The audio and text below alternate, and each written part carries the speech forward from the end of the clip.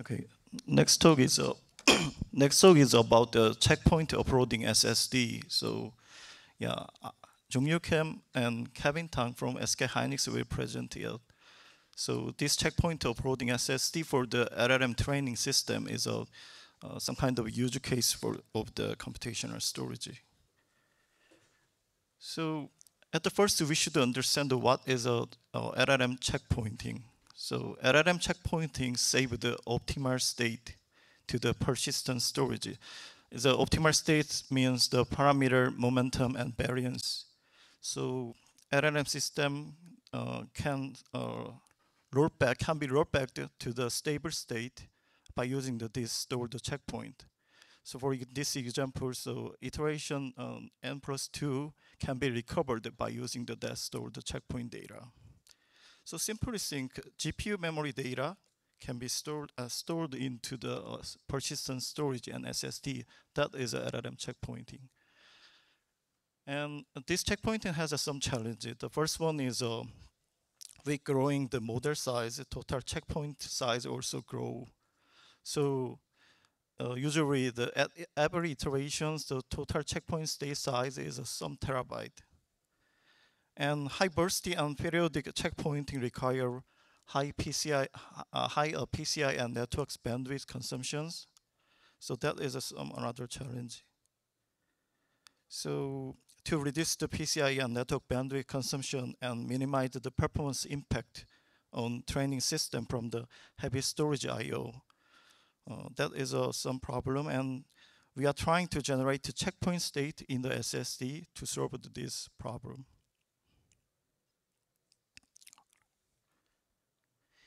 Yeah, this is a AI training one iteration, very simplified version. So in uh, in LLM training, is there are four steps: a forward, backward, optimizer state on the GPU, and checkpoint so after doing the forward, the backward, and optimizers update, so we, we needed to store the, some uh, optimizers output data as a, a momentum, variance, and parameter. We need to store the, this data to the SSD. This is a checkpoint operation. So this momentum, variance, and parameter is the output of optimizer step. And the input of optimizer step is also gradient moment variance of the uh, previous iteration. So we try to offloading the this optimizer step in the into the SSD. So that optimizer can be worked separately with the GPU, uh, but this uh, GPU can send the gradient value and should read the updated parameter for the next forward and next iteration. So this is our checkpoint offloading SSD. So we are offloading the, that optimizer step into the SSD. And potential benefit of this checkpoint offloading SSD, uh, we think we can reduce the PCI network bandwidth consumption.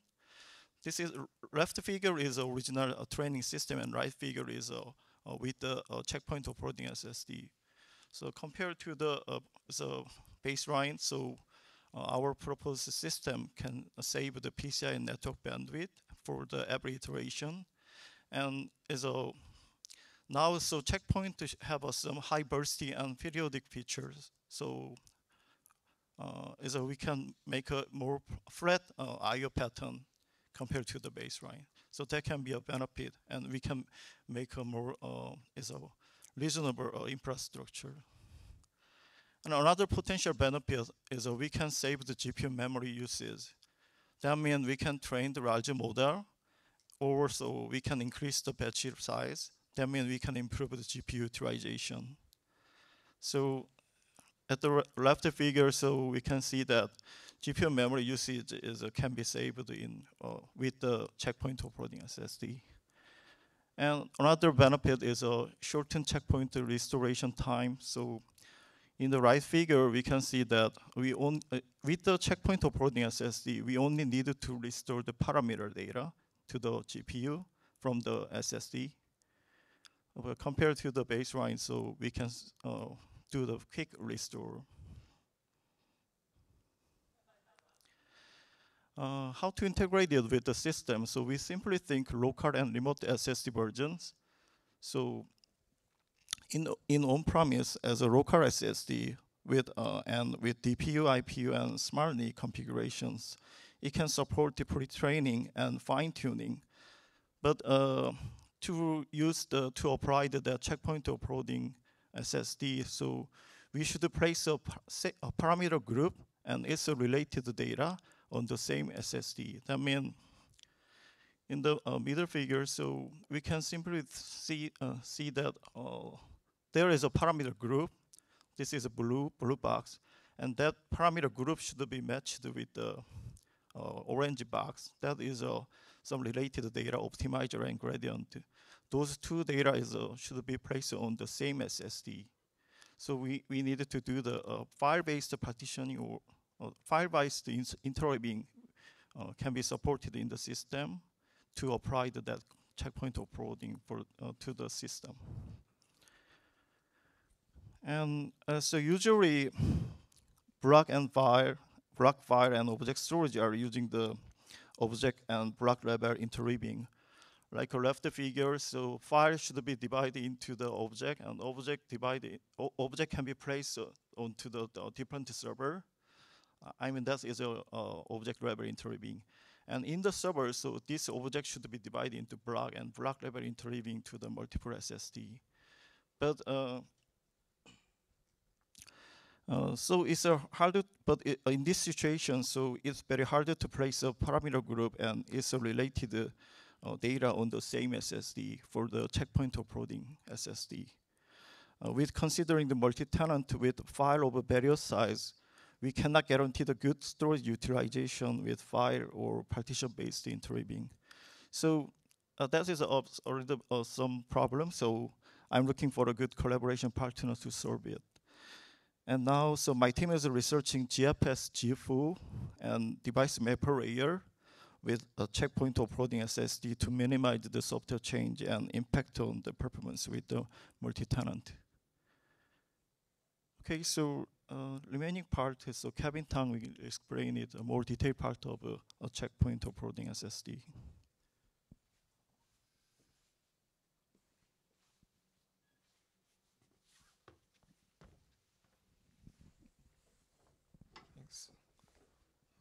So first I want to explain uh, some details about the implementation and some like, the complications. Uh, first topic uh, is about mixed precision training. Uh, mixed precision training is a commonly used technique. It speeds up the forward and backward passes by performing them in low precision while performing the optimizer step in high precision. And it allows training to take advantage of the 16-bit matrix multiply hardware and GPUs while maintaining the original model accuracy and allowing it to converge. So the figure below is showing an outline of uh, what mixed precision training the flow is like, and also how we integrated it into the checkpointing offloading SSD idea. So similar to full precision training, uh, mixed precision training uh, has the forward, backward uh, optimizer step and checkpointing stages. And in addition, mixed precision training additionally requires keeping uh, low precision and high precision copy of parameter and gradients, and then converting the data type based on the current stage of training. Uh, we performed the forward and backward pass on GPU because of the high compute requirement relative to the other stages. But other operations such as uh, type conversion, um, optimization, and checkpointing are able to be moved to the SSD. Uh, so the first figure is showing the formula for Adam, which is currently the most popular optimization method. Uh, from the formula, you can see it requires a substantial amount of extra memory to maintain and update the first and second moments, uh, M and V, in addition to the original parameters. Uh, effectively, it like triples the uh, size of the model. Uh, yeah, and Adam is an element-wise operation, and it has a relatively low compute requirement. Um, other works such as uh, Microsoft ZeRO-Offload have shown that it can be offloaded to uh, server like x86 CPUs or to FPGAs to reduce the uh, GPU memory pressure. But we also consider the possibility of performing Adam on low power ARM CPUs uh, so that the idea could possibly be added to or it could share resources with the uh, CPU inside of the existing SSD controller. And because uh, it needs to maintain the extra moments and it's stored in higher precision, the optimizer state is multiple times larger than the modeling gradient. The figure on the bottom right uh, shows the relative sizes of um, optimizer, model, and gradient uh, under some various assumptions, either FP16 model or uh, FP8 model. And the motivation, uh, we focus on uh, moving uh, part of the computation to the SSD. Uh, we could write checkpoints without needing to send the full optimizer state from the GPU if we instead uh, communicate the just the low precision gradient to the SSD and then internally uh, perform the optimizer calculation.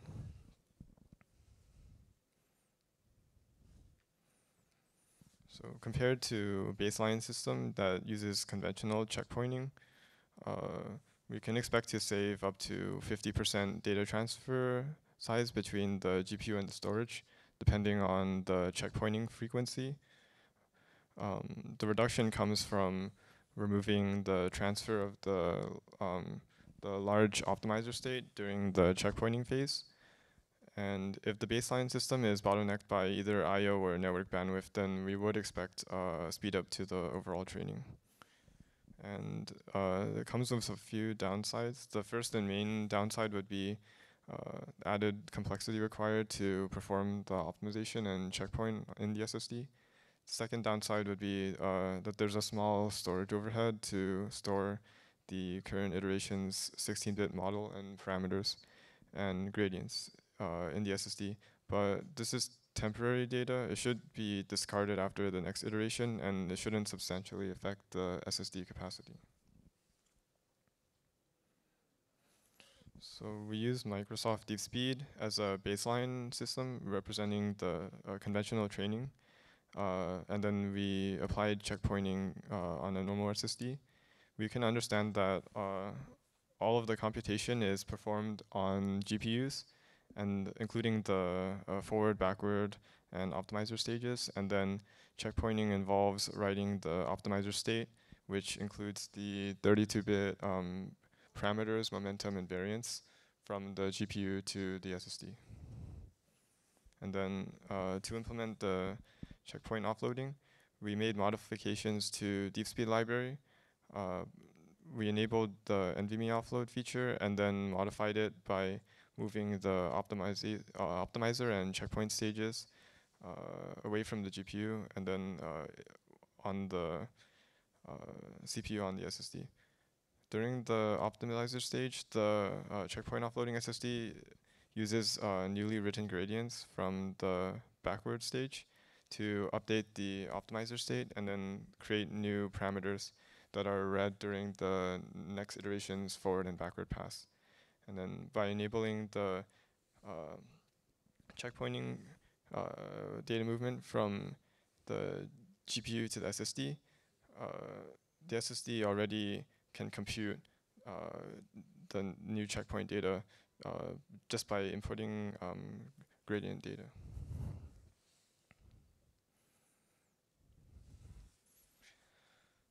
Um, to evaluate the concept, we created a, a prototype using a Fidus Sidewinder PCIe card uh, with attached SSDs.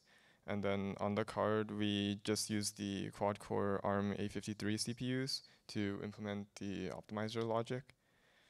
Um, we did a small-scale like transformer pre-training uh, demonstration um, using a single, G uh, single GPU and single SSD uh, running DeepSpeed to train a 1.72 billion parameter uh, Megatron LLM uh, with checkpointing performed after each iteration in the baseline setup.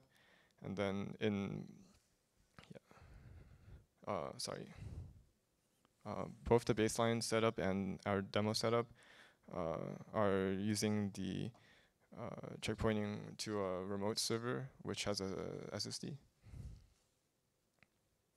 And the test scenario involves performing a single training iteration and then we measure the both the GPU resource usage and the data transferred over the network over RDMA. The main result we measured was a 44% reduction in the RNIC data transfer required for checkpointing relative to the baseline system using a conventional SSD uh, because we can avoid transfer of the large optimizer state over the network. And additionally, because we are offloading um, the optimizer state to the SSD, uh, it no longer needs to be stored in GPU memory, so we can also save, uh, in our test, 65% uh, of the GPU memory. Uh, and we have a demo booth if you'd like to learn more. Uh, inside of the expo room, um, we're at the SK Hynix booth near the back center. the booth has a demo video of the scenario that I uh, discussed in the previous two slides, and then we're also going to be there to answer any of your questions. Thank you.